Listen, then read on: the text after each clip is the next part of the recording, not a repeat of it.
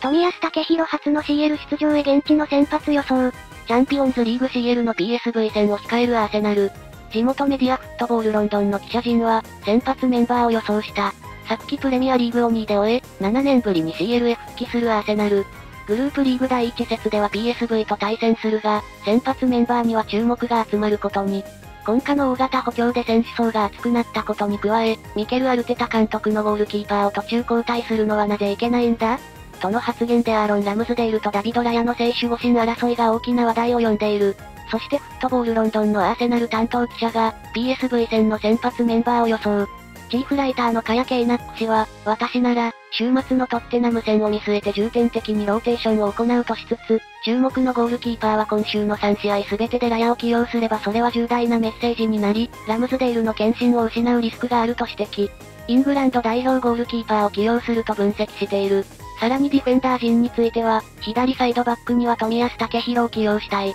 オレクサンドル・ジンチェンコはエバートン戦でいかに重要な存在であるかは示している。PSV とのホームゲームで、富安はそれをカバーする以上の能力を発揮してくれるはずだとし、日本代表ディフェンダーの左サイドバック起用を進めている。なお、タシャンでミラン・アレーン記者は相手フォワードのアラングは絶好調であり、日本代表ディフェンダーの方がベン・ホワイトよりもこのデュエルに最適として右サイドバック起用を予想。トム・カントン記者も右サイドバックで先発を予想しており、3記者全員がスタメンで出場すると分析した。PSV 戦でピッチに立てば、CL 初出場となると見やす。先発が予想される中、勝利に貢献できるだろうか。以下、カヤ・ケイナック氏のアーセナル先発メンバー予想。ゴールキーパー、アーロン・ラムズデール、ディフェンダー、ベン・ホワイト、ウィリアム・サリバ、ガブリエウ、富安武宏、ミッドフィルダー、デクラン・ライス、マルティン・ウーデボール、カイ・ハバーツ、フォワード、ブカヨサカ、エディ・エンケティア、レアンドロ・トロサール。富安の先発みたい。初の CL か。これは楽しみ。CL の舞台でどこまでできるか。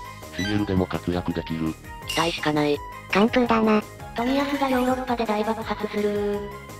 こちらは世界のフットボールにチャンネルです。あなたの持っているサッカー知識をぜひコメントにぶつけてコメント欄を盛り上げてほしいです。他にも面白い情報を最新で知りたい方は、ぜひチャンネル登録よろしくお願いします。